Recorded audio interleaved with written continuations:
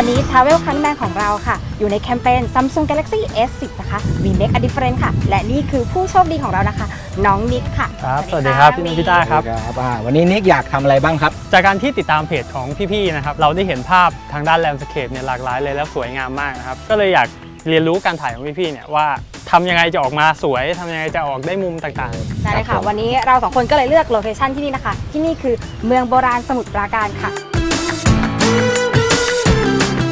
ถานที่เขากว้างมากเลยอะดังนั้นไอ้ที่เยอะขนาดเนี้ยเราว่ามันจะต้องใช้เลนส์หลายๆแบบหน่อย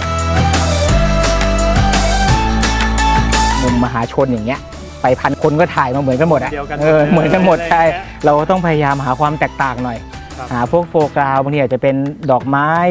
ใบหญ้ากรอบหน้าต่าง บานประตูอะไรได้ทั้งนั้นเลย อยากเก็บอาคารให้หมด อยากเก็บสะท้อนน้ำพ ระอาทิตย์ก็อยากเก็บด้วย พอมีอัลต้าไวมาปุ๊บเนี่ยทีเดียวจบมีจุดสนใจอยู่ในภาพ แล้วเราก็มีเส้นอะไรสักเส้นหนึ่งจะเส้นตรงก็ได้เส้นโค้งก็ได้พุ่งตรงเข้าไปที่ตรงจุดสนใจนั้น มันเรียกว่าเป็นนำสายตา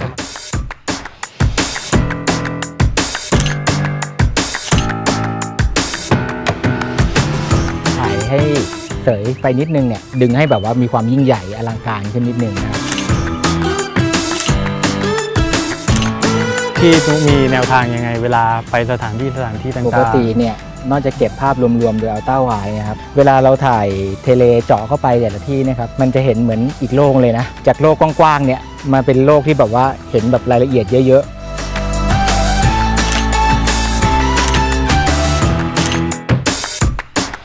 ถ้าเห็นแบบว่าตรงย้อนแสงแล้วมันเห็นใบไม้หรือขนหรืออะไรเล็กๆน้อยๆครับเออมันจะเกิด rim light แบบเหมือนแสงแบบเงาๆสะท้อนตรงขอบๆ สวยงาม เราไม่จำเป็นจะต้องตามกฎเกณฑ์ที่มันเป๊ะเป๊ะเป๊ะเป๊ะทั้งหมดก็ได้ เวลาถ่ายภาพมันจินตนาการเข้ามาเยอะไง มันไม่มีอะไรผิดไม่มีอะไรถูกอยู่ที่เราว่าเราอยากได้เอฟเฟกต์แบบไหนออกมาแค่นั้นเอง